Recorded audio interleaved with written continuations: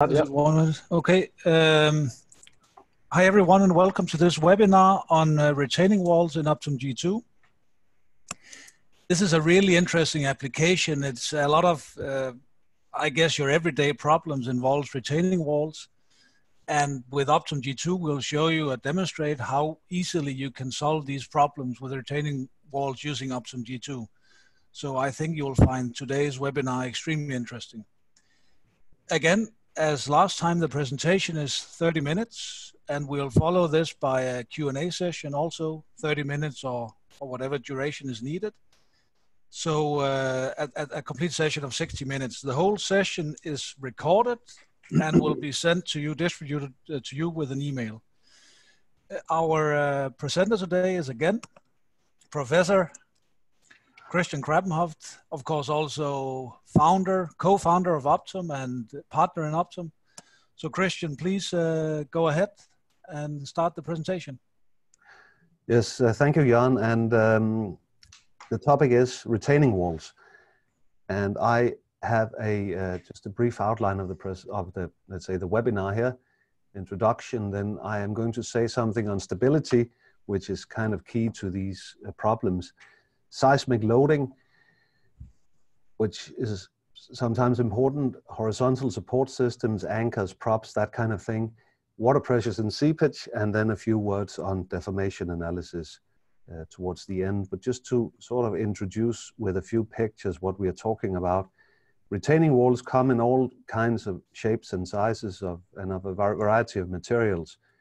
Mass construction gravity walls uh, like that one, reinforced concrete walls with and without moment relief platforms. That's kind of a nice thing to build in to basically relieve the earth pressure on the wall, uh, at least horizontally. Uh, crib walls, gabion walls, so basically steel mesh cages filled with some sort of rock material to basically form building blocks uh, for the wall. Sheet pile walls, um, anchored sheet pile walls as shown here and here, and um, diaphragm walls with these supports in the form of rakes, as they're called. Secant pile walls um, that are, as I think everyone knows, created in this kind of way by drilling these primary piles and then driving secondary piles. So there's various types of, of support systems as well. Um, helical anchors, grouted anchors are very common, and uh, props with some sort of hydraulic system to basically adjust um, to push the wall into the soil again if it pops out too far. Um, here are some examples of that, and they can be put in at several levels as well. So a wide variety of, of scenarios that can actually all be modeled in Optum G2. So, but before we start with that, I, I just wanted to say a few words on stability, and it's much the same as I said in the last webinar on slope stability. So this is really not too different from slope stability, these types of retaining structures, at least as far as, as stability goes. And there's of course also the issue with deformations that, that we'll get to. But um, to start with, I think it's important to uh, know the factor of safety. And um, yeah, as I mentioned last time, there's many different definitions of the factor of safety, but they all have one thing in common, uh, namely that a factor of safety greater than one indicates stability, less than one instability, and a factor of safety equal to one, well, that uh, signifies that you're right on the boundary between stability and instability. So for a stable system, we have some stresses in the ground and in the wall as well, for that matter. Uh, and these stresses satisfy the equilibrium equations and the failure criterion, your Mohr-Coulomb or your Tresca or Hoek-Brown or whatever you have. So um, the question is then how stable is this stable system? What is the factor of safety? And to answer that question, we ask another question, namely by what amount should the material strength be reduced to induce a state of collapse to bring the system right to the boundary between stability and instability. And if we talk Mohr-Coulomb, well, the material strengths are the cohesion and the friction angle, so we should reduce those to bring about a state of collapse, except that usually do, we usually do and we do the same, uh, is reduce not, is reduce C and not phi, but tan phi by some number, and this uh, number, um, the number that brings the system to an, an just unstable state is uh, our, uh, our factor of safety. So um, in Optum G2, it's called strength reduction analysis. We are, you're looking for this critical strength reduction factor, which is then the factor of safety. So I thought to start with, I would um, I'll just show how this works for a, for a structure that looks kind of like this, a, a gravity wall. And so I'm going to switch to Optum. And I have to say, uh, I wasn't planning on giving a really a, a, very thorough introduction to the program. I, am still not planning to do that um, because uh, then it'll take more than half an hour, I think. I went through some of the features last time, uh, but for a more complete introduction to the program, I can uh, recommend our, uh, oh, our YouTube channel. So go to YouTube and search for Optum Computational Engineering. There is a video called YouTube uh, Optum G2 The Basics. That's a, a good video. It's actually included in the program as well. So once you download and install the program, you will have this video on your welcome screen and you can either choose to, to play it or not, but it's available on YouTube as well, along with a lot of other videos. And if you also, I should make a bit of advertisement for myself. If you go to my personal YouTube channel, so search for my name and you will find uh, uh, uh, various videos as well that could be useful, including another introduction and, and so on. So there's, oh, there's a lot of, um, of these types of resources available online. Um, there's the manuals as well that come with the program. So, so, so I will, uh, I'll, I'll get started on, on this actual problem here and draw, try to draw this uh, kind of a gravity wall. Let's say something like, like this and something like, like that. And so this is now my, my wall. And then the soil, and I'm gonna have sort of a sloping ground here at the back, say something like that. It's just sort of freehand drawing now. So um, just to illustrate the basic, the basic concepts, how, how it works. Um, and then back to here. And um, I think, did I put two points? Yeah, sometimes that happens and then you want to just delete that. So, um, so that's my geometry, and then I'm going for the wall. I'm going to use a rigid material. So that's a material that has infinite strength, infinite stiffness. So if it's concrete, of course, concrete has both infinite, uh, finite strength and stiffness, but compared to those of the soil, it's, it's, they're very large, unit weight of 25, say.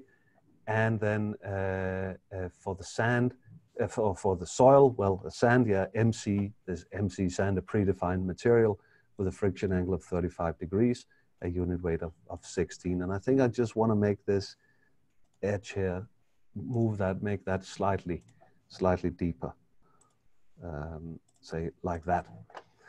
Good. So, um, so that's that is my geometry then, and then I move to features, my geometry materials and features, standard fixities first of all, to just support this um, uh, at the bottom and, and at the sides. And then I'm basically ready to run my strength reduction analysis. And I go to the uh, stage manager and I then select strength reduction. And then some settings come up down here.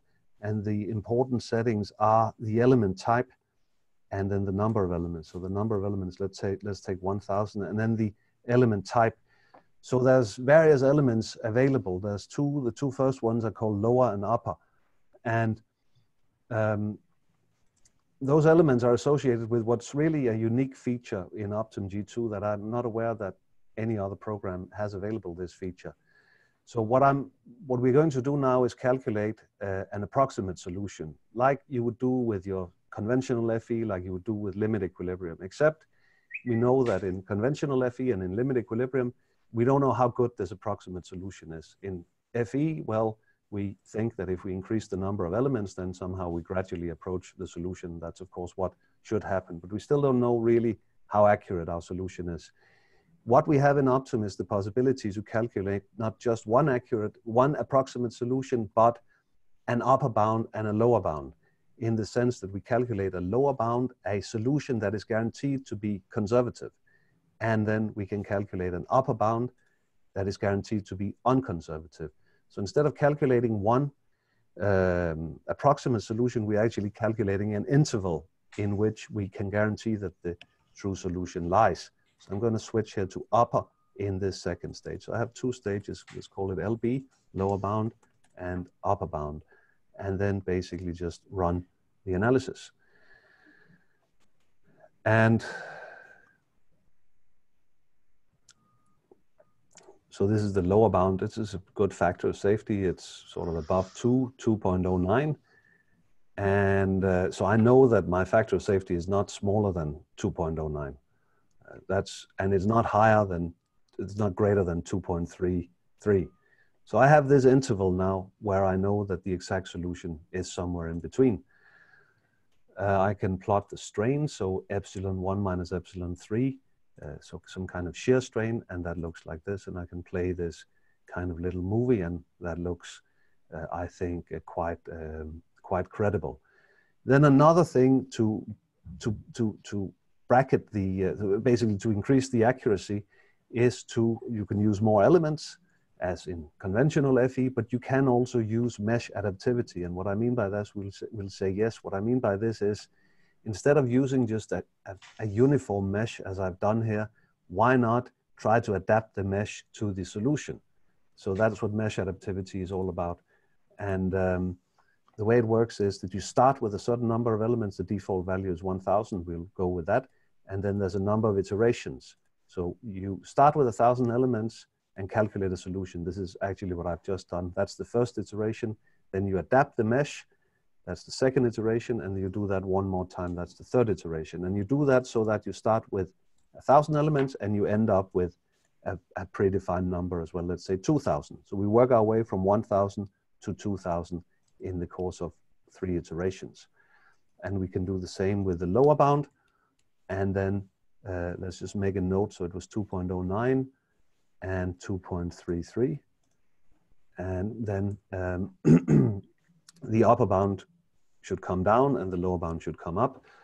And in this way, the gap between the two uh, will be narrowed. And so this is what we had before 2.09, and then it's the second iteration, it's, it's slightly better. And the third iteration, even better. Um, so the lower bound now goes to 2.13. So not a huge improvement, but um, maybe the original solution was actually pretty good. It, something indicates that since the gap already between the upper and lower bounds was not very large, and the upper bound from 2.32 to uh, we are now down to 2.2. So the gap has been narrowed, and you can see if we look at the strain, the strains have become a lot more localized. You can see sort of more a more clearly defined failure mechanism. And that's because the mesh has been adapted. The elements have been put, let's say, where you need them. So this is a really useful and, and uh, actually quite unique feature. So just to summarize what we did, we plot the factor of safety versus, I call it the mesh quality here. So um, the mesh quality covers both the number of elements and also how you place the elements. So in, in these three iterations, the mesh quality definitely improved. Um, and we then started with an upper bound and a lower bound. They were some distance apart. First iteration, uh, and then the second iteration, they came closer together. Third, even closer. And as if we had continued, we would have eventually, and quite soon actually, got to the exact solution. So this is a great way of of, of obtaining a, a, a, quantitative estimate of how good your solution actually is. And of course, the lower bounds have a, have, have a special uh, attraction in themselves in that you can guarantee that, the, uh, that they're conservative. How conservative they are, you can find that out by calculating the corresponding upper bound. Seismic loading, and the reason I wanted to just say a few words about that is that it came up in the, our webinar last time with slope stability, and it's, it's relevant for slope stability, but also for very much for retaining walls. And um, well, it's illustrated here actually with respect to a, to a slope, and it's the so-called pseudostatic approach that I'll be uh, demonstrating. So the idea is you have uh, some structure, in this case it's a retaining wall, and then you have an earthquake come by, so you have some ground accelerations, and those ground accelerations um, uh, uh, give rise to uh, additional body forces in the soil, forces in addition to those stemming from unit weight. And that can both be a vertical one and a horizontal one.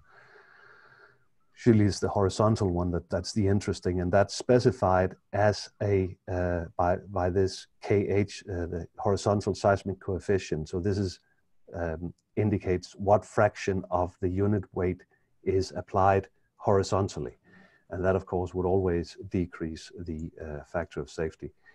Some indications of the typical values of, of, of, of this horizontal seismic coefficient 0.05 to 0.15 in the United States, somewhat larger in Japan. Terzaghi says 0.1 is a severe earthquake, 0.2 is a violent destructive one, and 0.3, 0.5 is a, is a catastrophic one. So, so um, why don't we try to do a violent destructive earthquake, and that is then a horizontal body force of 0.2 times the unit weight. And that can be applied, that should be applied, of course, I'm gonna just copy this, and that should be applied both to the wall and to the soil, of course, everywhere. Uh, and you can see that you can either apply, you can either specify these forces in terms of actual force or in terms of acceleration, in terms of, of multiples of, of g. And we had point, point two, uh, and that's uh, um, right to left in this case is of course the, the critical the critical situation. And um, and I would then uh, I will then rerun it. And now yeah well our our factor of safety before it was uh, somewhat greater than two. And now we are sort of heading to a value below I think 1.5 uh, 1.45 or so it looks like. 1.48 and the failure mechanism it's as far as i can see it's kind of similar to what we had before in just the, the you can say the static case. It's has a somewhat greater extent. I should have maybe extended this boundary a little bit but um, it is similar to what we had uh, before. Static uh, seismic. So that's that those types of analysis are easy to to carry out then uh, horizontal support systems, and I really wanted to sort of just go through a few of the options with respect to, to sheet pile walls of this type here, where we have a row of anchors, looks like grouted anchors up here. And the way to model this type of wall is, of course, to, to consider a section of the wall. We have a section of the wall and then some sort of uh, horizontal support. So if I was to just create a new stage and then draw up a something like a sheet pile wall, um, say like that. And then uh, let's say that's have sand. And then I'm going to put in a wall already via a so-called plate element. And let's make that um, something like that. Uh, and um, then have maybe something like that. So this is now eight meters and this is, this is three meters. Now the wall element or the plate element is, is it's, an, it's an elastoplastic element. Uh, the elasticity is not really important when it comes to the, um, to the strength reduction here. It's only the yield moment really that, that matters and that's the default value is, is 800 kilonewton meter per meter. You can of course change that the weight 150 uh, is probably all right as well. And then there's these interface reduction factors. So you can see the plus and minus here. That refers to the interfaces between the wall and the soil, and they come automatically with these elements. So if I click this, well, I can change the material at the interface. I can have a brand new material at the interface, or I can apply a reduction factor. And if we're talking Mohr-Coulomb, this reduction factor is applied to the friction angle and two thirds is something that um, you see used quite a bit. It's recommended also in Eurocode 7. And um, should we again doing strength reduction and we then just have the standard fixities and then some sort of horizontal support and the simplest form of horizontal support is simply just a, a, a beam or a plate support. This we call it the plate BC. Um, so it's just sort of a fixed support like that. So this is a rigid support and you would then do your analysis, you would find out what forces are in this rigid support and then you'd design your, your structure accordingly. We can do something slightly more elaborate though. We could say that uh, we had a, um, remove that, we had, we wanted to sort of model the, the a grouted anchor and we could do that in a, you could say a primitive way by, say we have a, rod of, of 10 meters and we want to have give that an inclination of uh, let's say something like 20 degrees. So say minus 20 like that. And then the grout we could again just say the grout is just a, a, a rigid support. Of course not how grout is in the real world but but um, somehow better than nothing. And so this this connector here, we call it, um, is is a you could say a, actually kind of a spring element that does not interact with the soil. Uh, it just connects the wall to this rigid support down here.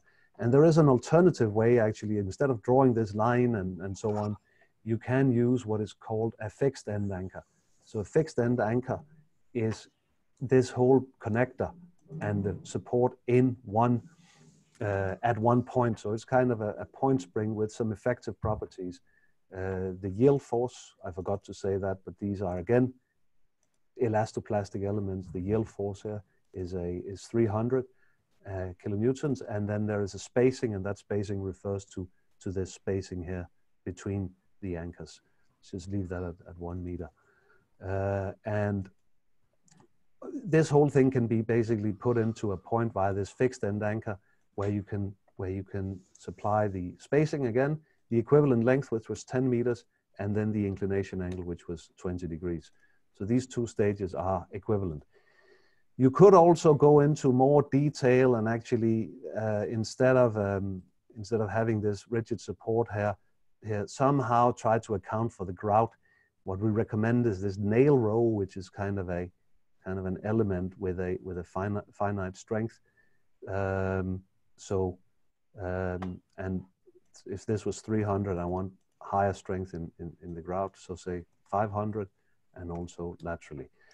So, so different ways of, of modeling the same thing. Uh, and I should, I wanted to have, have upper here. Should have done that to start with.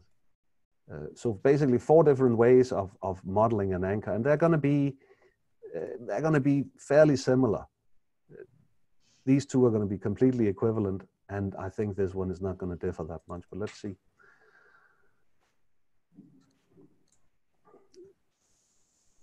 The rigid support can, of course, take whatever force is, is required. So, uh, yeah, if we have a finite strength anchor, well, the factor of safety is a little less. And um, the one with the, with the grout, actual grout, is, is, yeah, it's very similar. So one point is actually identical in this case. So, um, so there's various options for, for modeling this, and you can see this is how it fails. Uh, let's try to plot some, some, some strains, and maybe there is a bit of straining around the around the grout here. Yes, it, it seems so. That we of course don't have in in this case or in in this case. Um, but it turns out that the factor of safety is, is really quite insensitive to that little detail. Um, okay, so so final thing um, that I wanted to say with these sheet pile walls has to do with with water pressures and seepage. So um, so suppose that we model it like this, which in many cases is my preferred way with a fixed end anchor, and suppose that we have a water table which is here at the ground surface, say this is a rainy area, and suppose that the water table down here is at the, is at the base of the excavation as well. Then of course we have a seepage around the sheet pile wall, and uh, this seepage is gonna change the effective unit weight, and it's also of course gonna induce some pressures on the wall. How much? Uh, well, what, what, what you just have to do is, is, is basically set things up. That is, of course, difficult enough. But as soon as you have these flow BCs imposed, a seepage analysis is going to be run behind the scenes automatically. You can say it says running seepage analysis that calculates the pore pressures and the pore pressures that are then used are then used in the subsequent mechanical analysis, in this case, the strength reduction analysis. And you can see we've gone from a factor of safety of 1. Point, what was it, 7.8 to point uh, to less than 1.92. So, so it has had a huge effect, the water pressure in this case. And we can, we can plot um, the water pressure.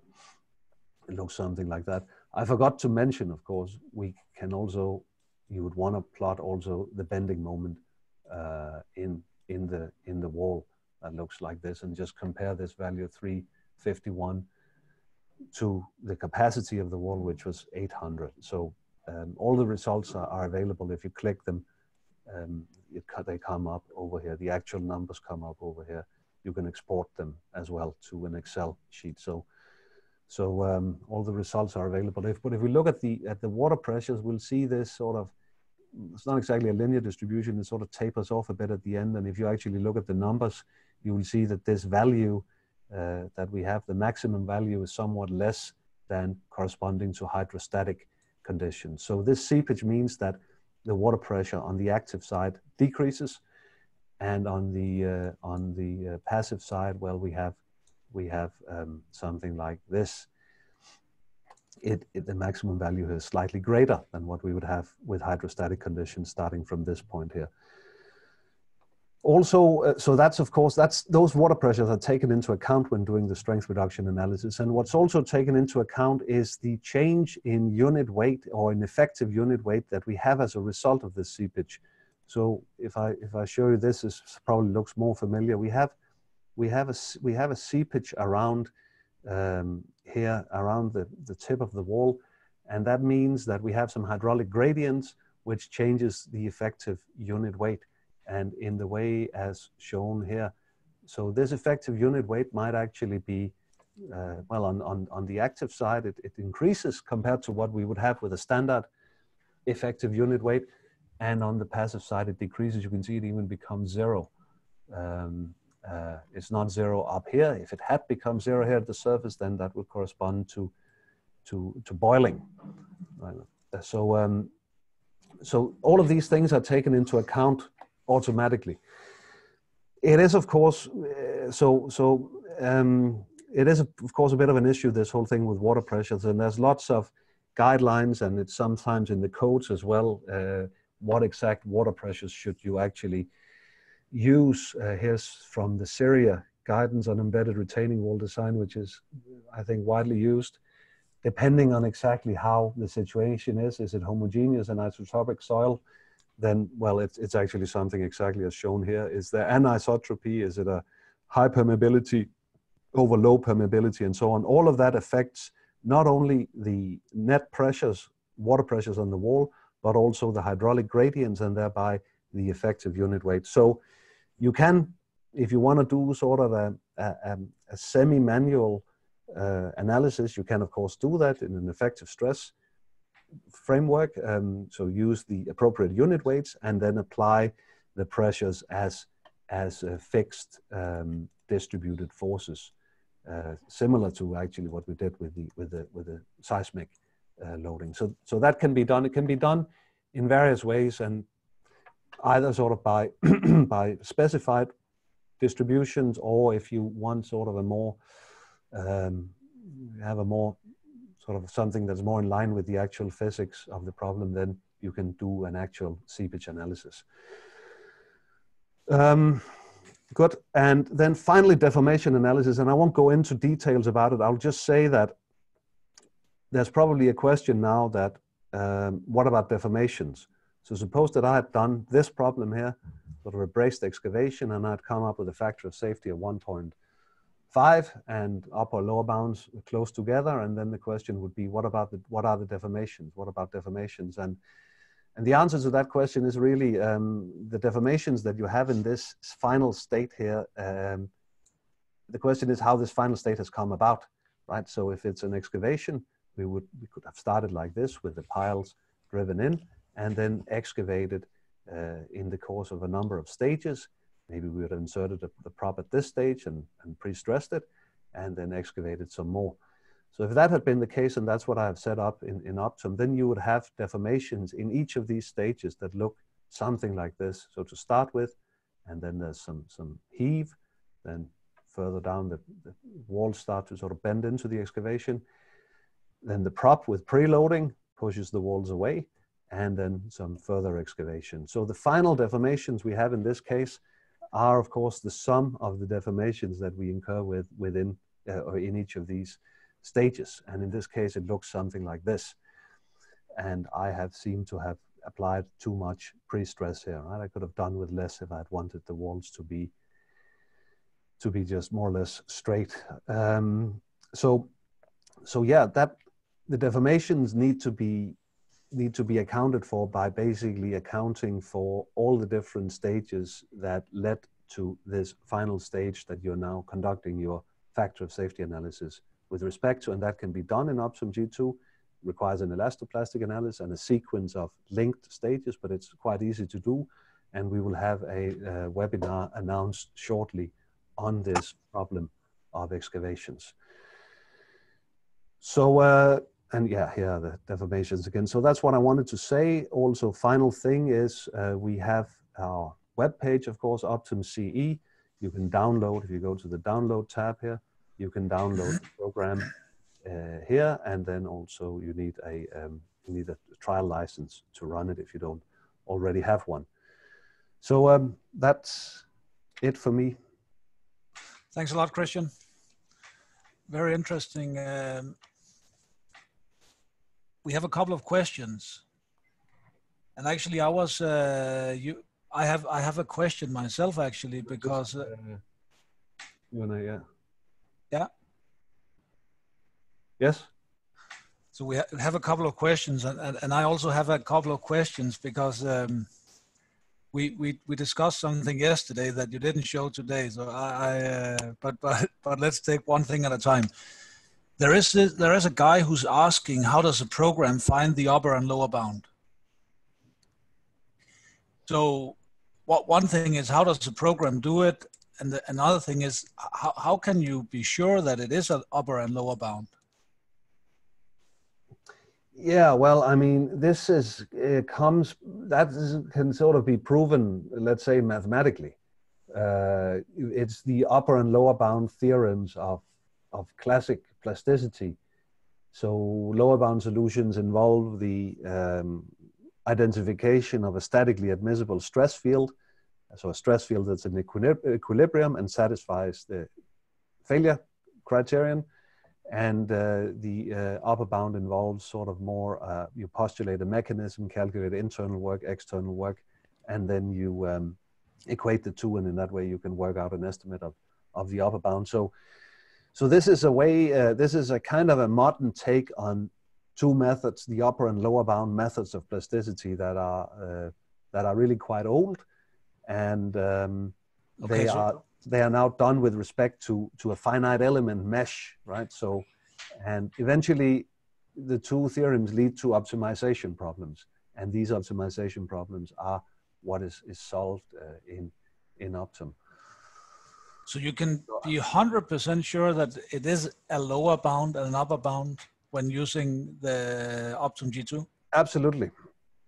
Okay, and what what are the restrictions on using the I mean, that, that, that there are certain restrictions, right? Uh, no, there I mean, are no restrictions. Well, there is. A, the, I mean, unless there are bugs in the program, then then there will be upper and lower bounds. So.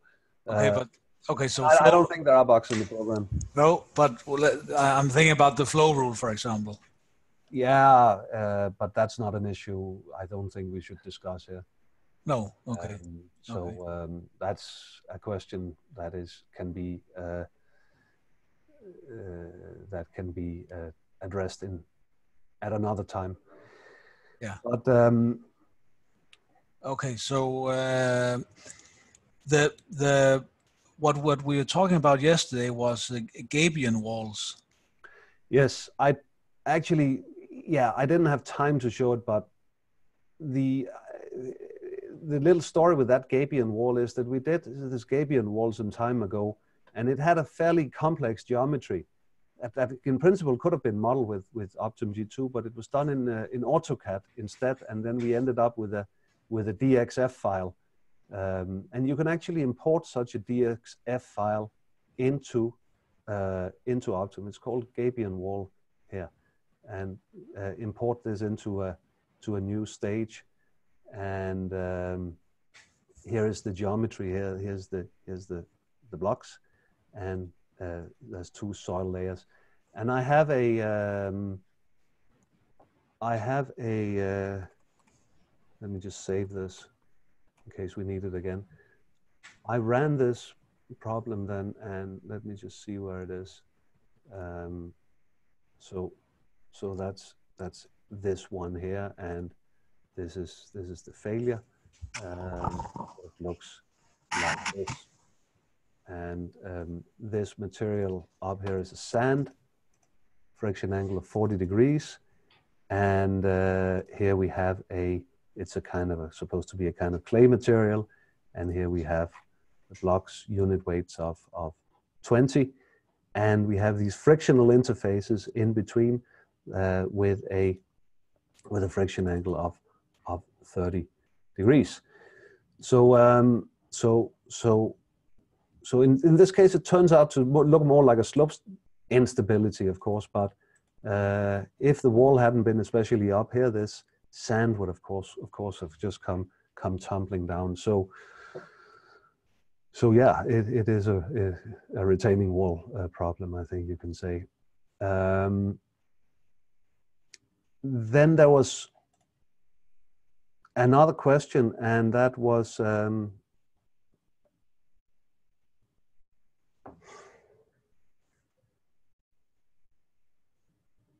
and then uh, no yeah let's take them one at a time. So there's a there's a question there's a question with how do we determine the necessary wall length for a sheet pile wall?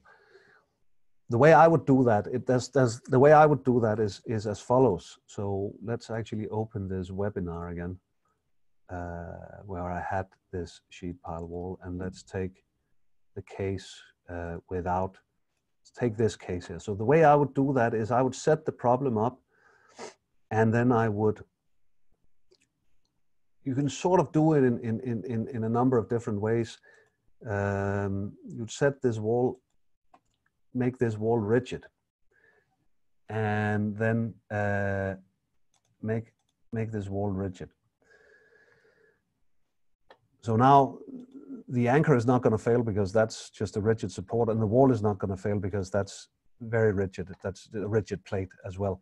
And then you could, uh, I think that's what I did uh, in this paper that you're referring to, apply a moment about the wall here. I'm not completely sure that's what, what, what was done, um, but a moment about the wall that if this moment, uh, and then find basically what is the limit load with respect to this moment? By what number should I multiply this moment to be at failure? So if this is a positive number, I need to drive the wall to failure. If it's a negative uh, number, then I need to uh, resist.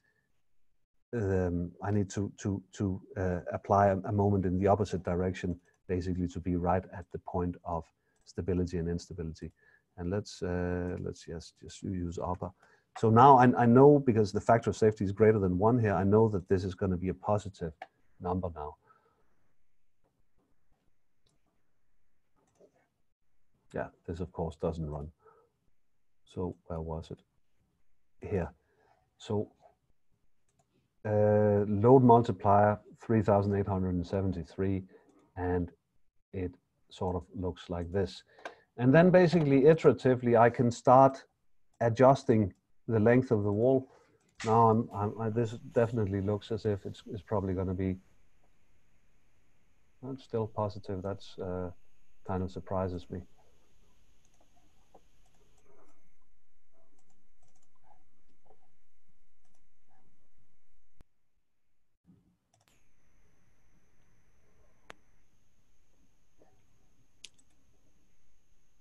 that uh,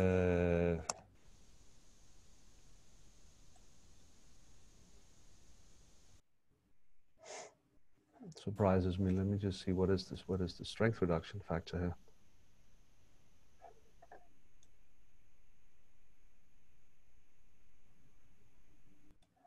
Well, it's, it's can do that of course as well. Do repeated strength reduction. Um, so maybe this wasn't a very good example because it turns out that the necessary length there is, is really very short. Um, let's do limit analysis.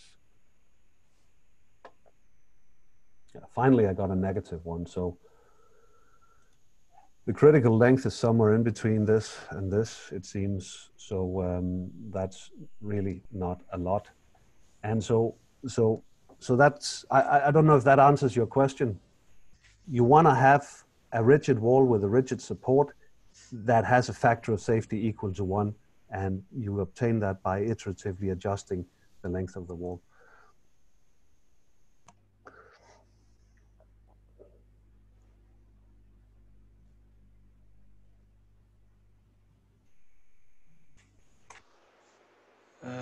I think. Oh, sorry. And I'm really surprised about this. Um, very, very, very small. It's, bigger than this, but not not really very much. Uh, so I'm basically doing what I said was necessary here. So yeah so it's somewhere in between this and what i had what i had before. What if you uh, add the adaptivity? And then yeah adaptivity then it's it's it's going to be less of course uh, because i'm doing upper bounds here. So um, then probably it's going to go from something positive to something negative yeah. So maybe it was just a question of the mesh being being just a bit too coarse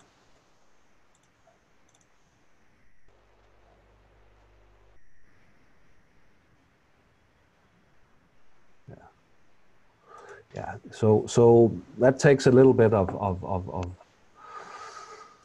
of playing around with.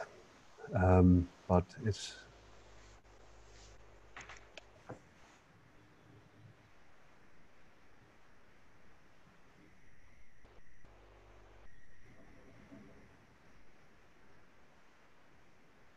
okay um, then there's a question that if we want to design a sheet pile wall and take the final forces in the structural elements, should I do elastoplastic analysis or strength reduction?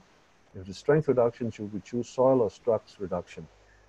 Yeah, that's a good question. For the first, that's actually two questions, but for the first part of the question, if you're designing it definitely according to Eurocode 7, there's two, there's two states to be considered, the ultimate limit state and the uh, serviceability limit state. So the ultimate limit state you need to make sure that the structure is stable, that the system is stable um, with in this fictitious state that the limit state is where you have reduced the material parameters by the partial factors and increased the loads potentially uh, as well. So that's the first thing to be taken care of. And then of course the serviceability conditions need to be met as well. And if it's an excavation we are talking about, well, then I would think that should be taken into account by actually conducting an excavation analysis and accounting for all the different steps um, that go into to such an to, to, to such a, an excavation and then um, uh, making sure that the deformations are not greater than um, greater than what is uh, allowed so but for the second part of the question should it be strength reduction in solids or structures? i didn't say anything about that but um, let me just sort of then introduce what uh, the what the what the question is really all about and let me do that let me just instead of having this here let me just instead put a plate uh, BC because then it's sort of more easy to to explain um, so let's do a strength reduction. You can see here there's, there's a setting here, reduce strength in solids. That means reduce strength in the soil. Uh, and then there's another option, structs. So solids means the soil elements, that's these elements here, and structs refers to everything that's not solid elements, structural elements, both walls and, and anchors and so on. So, so I can do a, um, I can do a, a, a, strength reduction analysis with respect to solids, the one I, I, just did, and I come up with a factor of safety of, of 1. Uh, 1.875 and suppose that this 35 degrees is actually my design friction angle has already been factored, then definitely I'm, I'm everything is, is good because um, because I just need to be above one. And then if I look at the results, the question is then, what is my necessary moment? And if I look at the results, well, my maximum moment is, is uh, 365, let's say. So that's definitely enough moment to basically uh, make this design satisfy all, all the requirements. You can see the failure is like this. But the question is, could we somehow reduce this moment? What is the lowest possible moment we can, we can, um, we can work with? And that is a question of, of strength reduction in structs. So leave the soil elements as they are. They've already been factored. We have the design friction angle now. And then I'm asking, by what amount can we reduce this original uh, yield moment or this we call reference yield moment of 800 kilonewton meter per meter. And um, that can be reduced pretty substantially. Remember before we had a maximum moment of 365 and but by reducing, by optimizing, you could say, the yield moment, we will get to a a much smaller moment.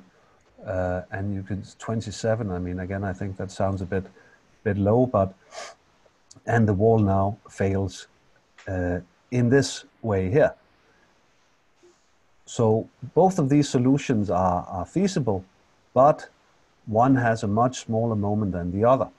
So so that's that's sort of I would that's the kind of approach I would use. And once I've then selected my profile, then I would do the SLS. So, um, so yeah, I hope that that that answers your question.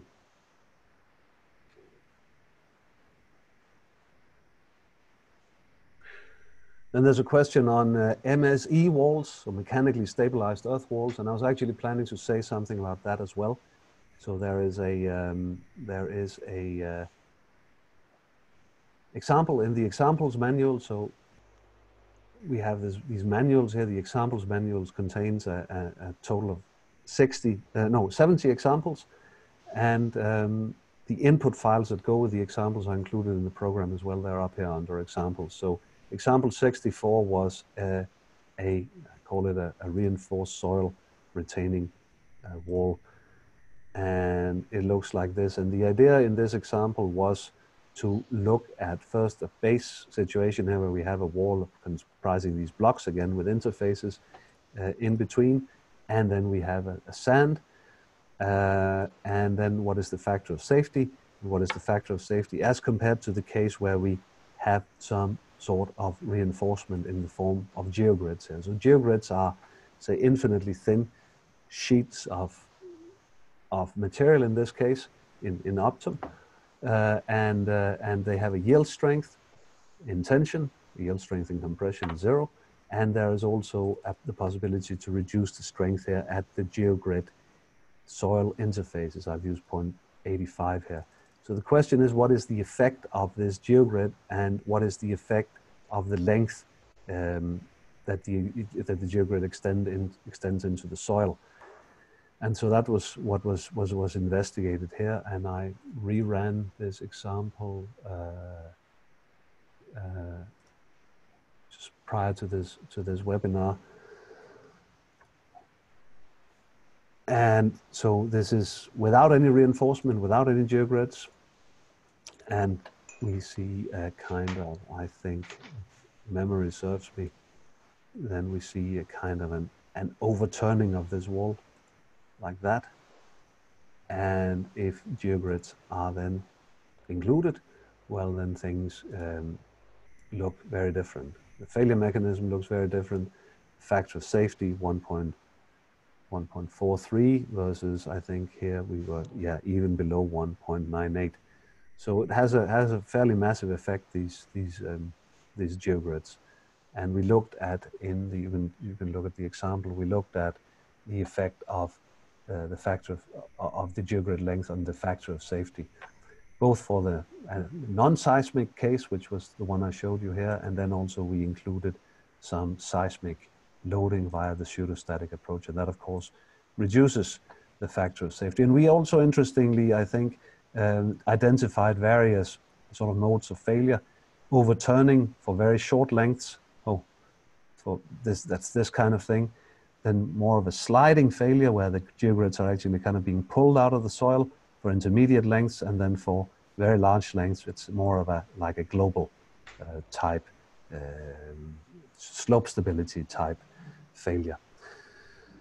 So, um, so yes, these mechanically stabilized earth walls can can very much be modeled, and and I think um, all the all the tools uh, that are necessary for for modeling them um, are available, and of course, this kind of problem can be combined with, yeah, in this case, it's already with seismic loading, with with water pressures as well, and with um, if you want surcharge loading up here, whatever, right? So modeling in, in Optum G2 is like modeling in, in any finite element uh, program. There's no real limitations in that regard uh, other than what we have sort of, um, other than what is limited by, by our imagination. So, so that is how it is.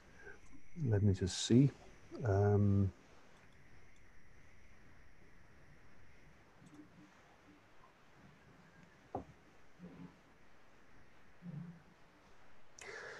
Okay, so back to the previous question. When optimizing the plate by reducing the strength in struts, wouldn't it also change the anchor force as the system is now different from before? Um, in, in, the way I did it here. Yes, that's very true. So for a, a, a, a, retaining wall with a single anchor or a sheet pile wall with a single anchor, as I showed you here, there's a huge number of different solutions. So suppose you're at some embedment depth, then you in principle have an infinite number of combinations of anchor strength and wall moment that are admissible. Uh, in the sense that if you decrease the wall moment, well, then you would typically increase the necessary anchor force. Conversely, if you uh, go for a very um, small anchor force, well, that will typically mean that the moment will increase um, the necessary moment will increase. So there is a price to pay, right? And you can, should you have uh, the smallest possible moment, and that gives a very large anchor force, or should you have the largest possible anchor force, which um, goes with a with a small moment, uh, or should you have something in between? So you can actually investigate everything in between uh, using this program. And um, now this this this paper. Um, can just find it here, was mentioned. And it's a paper that I wrote myself. I don't mean to engage in too much self-promotion, but it's a paper, maybe we can put it on, on the web page. I think we, we, should do that. Plastic design of embedded retaining walls, where this, where this idea is, is actually described.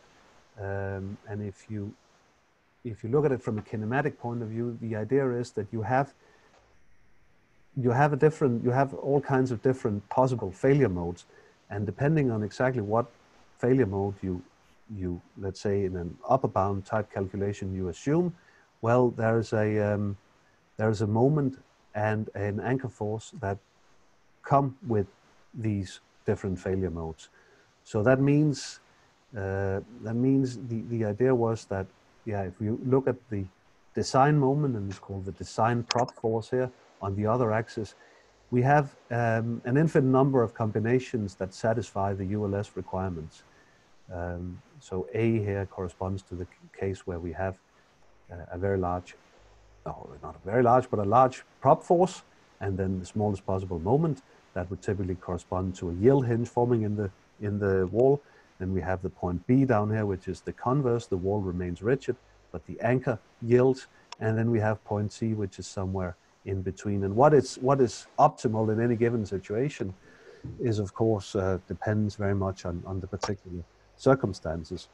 And so, if you look these these prop force versus design moment diagrams. So here's some examples as well. They of course also depend on the uh, embedment depth. So for a small embedment depth, you need more moment and more prop force, whereas if you um, if you increase the embedment depth, well then both of these can can be decreased. So your question is a really good and interesting one, but it's, it's not so easy to just give a a one line uh, answer to. So um,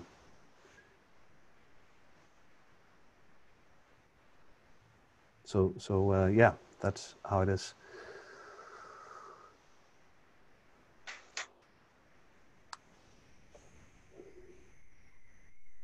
All right, Kristian, maybe we should, uh, are we coming to an end here?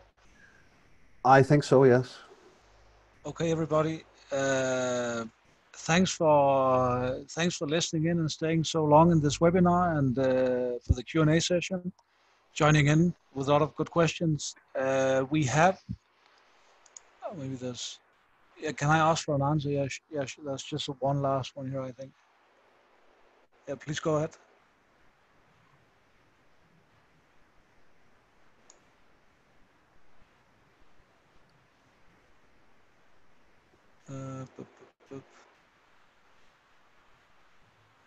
Okay, there's one.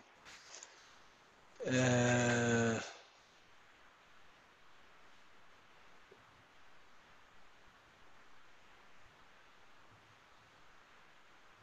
okay, I don't know. There's one here, Kristian. She, this is a question directly to me. Maybe you can answer it. I'm just going to read it up. So, Yeah. during during my previous design of prop retaining wall, I got unrealistically high prop forces and bending moments with Optum using lower bound and upper bound solutions.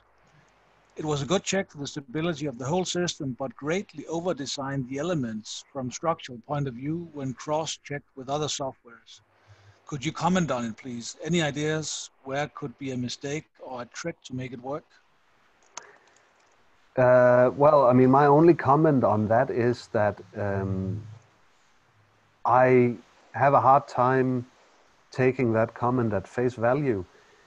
Uh, we have come, we have done extensive comparisons with other software packages for these types of, of problems as well, both finite elements and more sort of traditional limit equilibrium type programs. And so I'm, I'm very surprised to hear that, and I'd be very, very interested in actually getting that particular problem that we are uh, that you, that you're referring to, and then see maybe something is wrong, maybe something has been done in in a slightly wrong way. Um, so I'm afraid I have to put this down to some uh, error, some in to do with user input, um, because Optum is is really an ideal tool for for for optimizing uh, these types of of structures uh, and getting to actually very low bending moments and or uh, prop forces.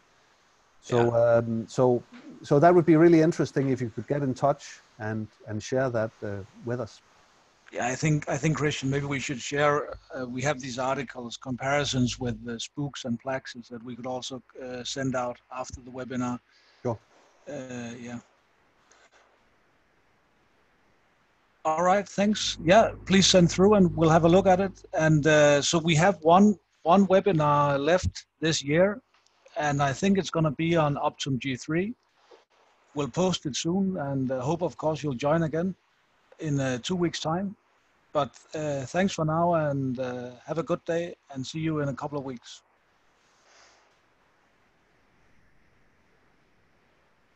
Yeah. See you. Yeah, see you. Bye.